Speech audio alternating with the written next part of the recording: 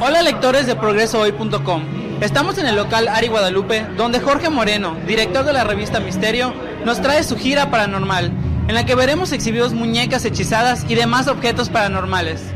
Un gran número de asistentes se dio cita para la gira paranormal 2015 el pasado sábado 24 de octubre, que fue celebrada en el Salón Ari Guadalupe del Puerto de Progreso. En ella se pueden escuchar casos paranormales del estado de Yucatán, además de contar con una exhibición de objetos embrujados como muñecas, duendes e incluso una luz.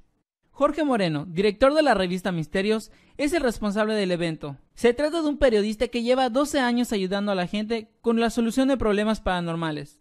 En una entrevista con el equipo de progresohoy.com, habló entre otras cosas sobre su labor con la gente y de lo que se puede ver en la gira paranormal. Sí, empezamos hace más o menos eh, mes y medio. Eh, vamos a estar más o menos como en 15, 20 fechas en lo que resta del año y el próximo año nos vamos a Quintana Roo y a Campeche. Bueno, yo normalmente en las conferencias, en la revista, yo siempre presento las pruebas que, que logro obtener, las evidencias, ya queda criterio de cada persona creerlo. No mucha gente no lo cree porque nunca ha vivido una experiencia paranormal. Me ha pasado en muchas ocasiones y cuando voy a hacer una investigación, la gente me dice que yo no lo creía hasta que me tocó verlo. Y realmente, pues yo en mi trabajo presento los casos, presento las investigaciones y ya queda en eh, cuestión de cada quien si lo cree o no. Y en este momento estamos en un intermedio en el que la gente le puede tomar una foto a cuatro muñecas embrujadas traídas de la isla de las muñecas en Xochimilco.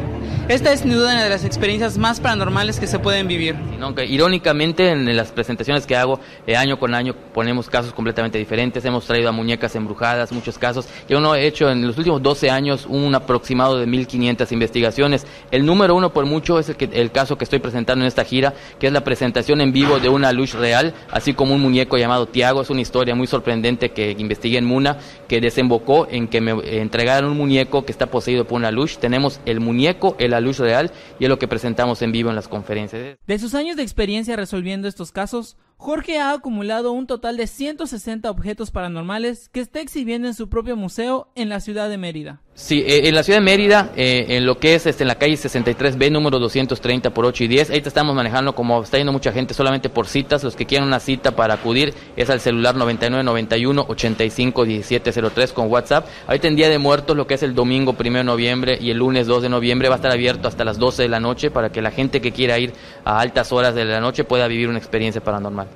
El evento contó con dos funciones a las 20 y 22 horas, con una gran respuesta de la gente progreseña, y esto fue lo que opinaron sobre las conferencias.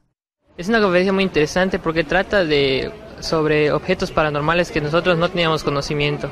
La verdad estuvo mejor que otras veces que he ido. La verdad, la, última vez que fui fue cuando vine al malecón. Pues te sientes emocionada al ver y conocer los que es de verdad. Me pareció muy bien. Es primera vez que venimos y pues me gustó traer mucho a mi hijo para que se dé cuenta de todo lo que existe, que no lo podemos ver en, en vivo, pero sí lo puede ver él ahora. Claro, así es. Bueno, he tenido oportunidad de estar en varias ocasiones eh, en progreso, haciendo muy, viendo muchos casos. Constantemente lo publicamos en la revista Misterios y le mando un saludo a toda la gente que está pendiente de Progreso Hoy.